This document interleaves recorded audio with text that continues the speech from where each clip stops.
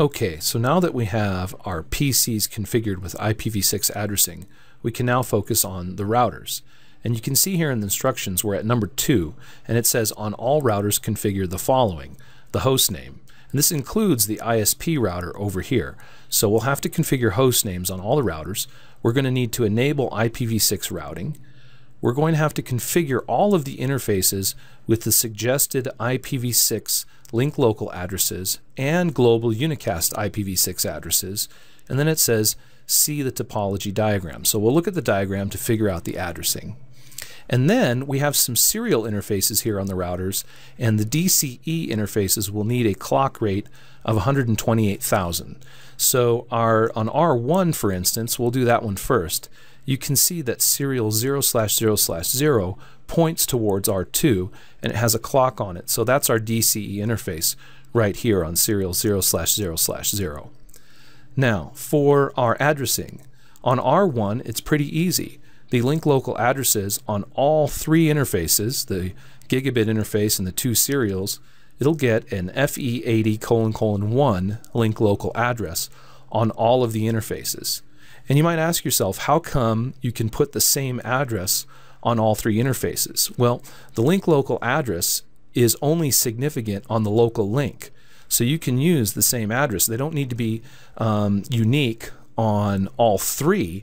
It just needs to be unique on that particular link or in that local network. So we can use um, colon colon uh, colon one basically on on all three interfaces for um, the link local address. Now the global unicast address is a little bit different. We're going to use colon 1 or host 1 for the LAN over here and we're going to use the first address colon 1 for this network in between R1 and R2 and then for the network that goes in between um, R1 and the ISP router the ISP is the first address colon 1 and R1 will be colon 2 will be the second address and you can see these three networks the network address is right here and right here and right here so let's configure it and get started. So I'm going to click on R1. I'll stretch out the window so we can see the configurations nice and clearly. And I'll go to the command line interface, type enable to get to privileged user mode, and then conf t to get to global config mode. And we'll start by setting the host name to R1. So we have that finished.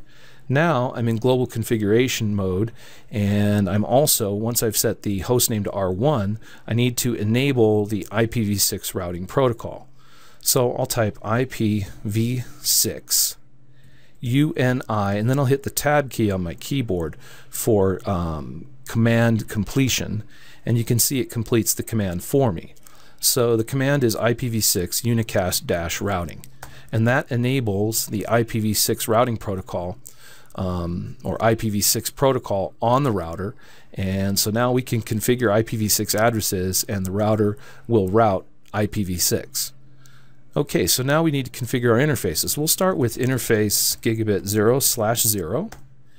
And we'll start with, let's see, IPv6 address. And we'll start with the FE80 colon colon 1 and then link dash local. And that sets the link local address on the gigabit interface.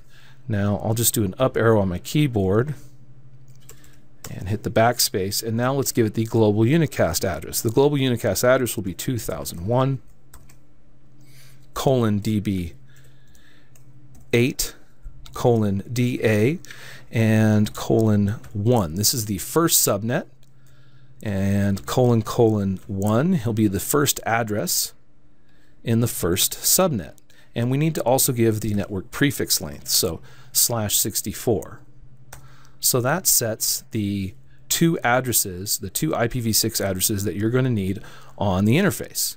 You need your link local address and you need your global unicast routable address right here.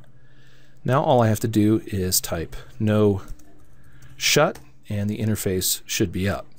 Let's configure the rest of our interfaces. So now what I'll do is I'll just do up arrow on my keyboard And this time we'll do interface serial 0 slash 0 slash 0. Now this is the interface that points towards router R2. So I'm just going to do up arrow. Remember I said it gets the same link local address. So all I need to do is do that, put that in again. And then for the global unicast address, it's going to be 2001 db8 colon da colon, and this will be the 2 subnet. And it's also going to be the first address in the 2 subnet. So just hit enter and then no shut, and that brings up the interface. Now, once again, I've got the right subnets here, subnet 1 and subnet 2, but I forgot something. On this second subnet on this interface, we need the clock rate on the interface. So I'll bring this back up, and while I'm still in the interface, I'll just type clock rate 128.0.0.0, and now I'm done with that interface. So now let's talk about the other interface. Now the other interface is slightly different because the subnet has a different addressing scheme. It's 2001 DB8 CD1C and it's going to be host number 2. So CD1C host number 2.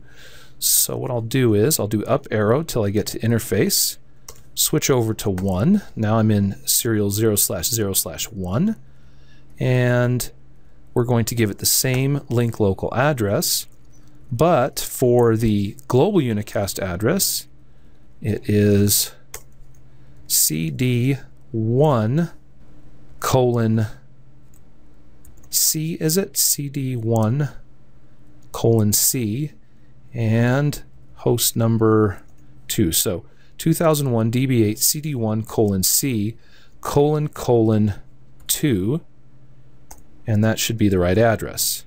No shut. Okay, and you can see that when we activated both of these serial interfaces, they both changed state to down, right? They're not up. We said no shut, turn them on, but they're still in the down state, and that's because the neighboring router on the other end of the link, the interface is shut down.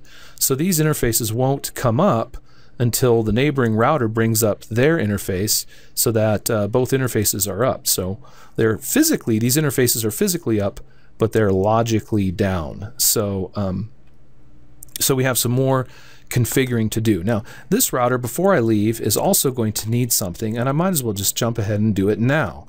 This router is going to need, let's see here, on R1, configure an IPv6 default route out of the serial 0 slash 0 slash 1 interface. So I'm going to do that right now. IPv6 route colon colon slash 0. This is the equivalent of a quad 0 route in IPv4. Colon colon meaning all zeros slash 0 for a 0 network prefix length. So this will match all routes. So this will be a default route out of serial 0 slash 0 slash 1. So out of that interface. All right, so now I have a default route. And the last thing, the only thing I'm missing is my RIP commands that I need to set up on the router. And I also want to propagate that default route. So I could jump ahead and before I'm even done with R2 and R3, and I could say, all right, on R1 and R2, enable RIPng on each interface except R1 serial 0 slash 0 slash 1. So we could jump ahead. I already did. I jumped ahead to step 4 and set up the default route. If I wanted to, I could set up the um, routing protocol right now on step 3 as well.